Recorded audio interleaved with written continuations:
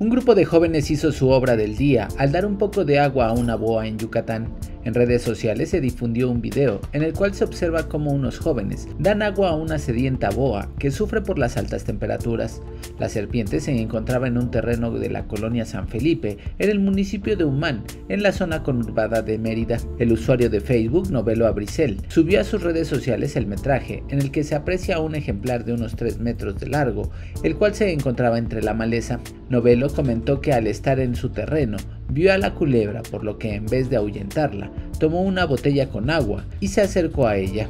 En vez de huir, el animal se quedó quieto al sentir el refrescante líquido e inmediatamente empezó a tomar el agua. Sus compañeros se sorprendieron al ver la reacción del ofidio, el cual estaba disfrutando del fresco regalo que le acababan de dar. La ola de calor que se vive en el país ha provocado que los animales busquen refugio en lugares frescos y con agua. Mantente informado con el Universal y suscríbete a nuestro canal.